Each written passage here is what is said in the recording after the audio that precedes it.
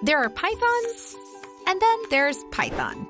The latter is a great coding language for beginners. It's also used for advanced programming. Companies like Disney, Yahoo, and Instagram all use Python. So, how do they do it?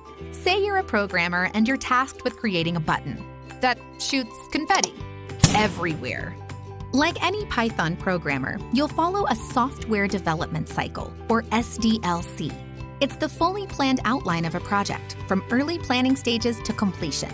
By following an SDLC, you'll learn why your buttons need it, design it, implement it, test it, deploy it, and figure out how to keep it from breaking. To write the code for your confetti button in Python, you always start with pseudocode. This might translate as fake code, but it's anything but fake. In fact, it's really important. Pseudocode is a simply written outline of your code. It's how programmers design programs.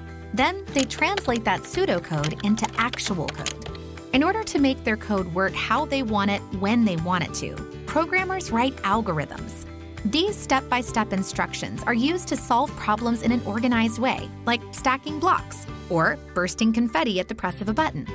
When you've finally deployed your confetti button, it's time for the post mortem review. It's where your code goes to die. Just kidding.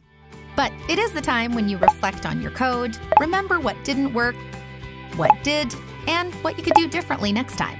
Trust us, don't skip this step because bad code can haunt you, and zombie code is a real thing. In short, if you're serious about learning to code with Python, follow each process the SDLC, pseudocode, algorithms, and postmortem review.